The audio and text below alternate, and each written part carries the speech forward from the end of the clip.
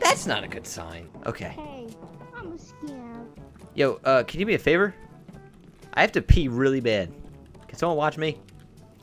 Buddy, Yeah, what do you want? What do you want? I'm right here. Just go, uh, watch me, please. Hey, what? I gotta pee. I'll be right back. Alright. I didn't even leave my chair yet. Uh, I gotta wait another 26 minutes.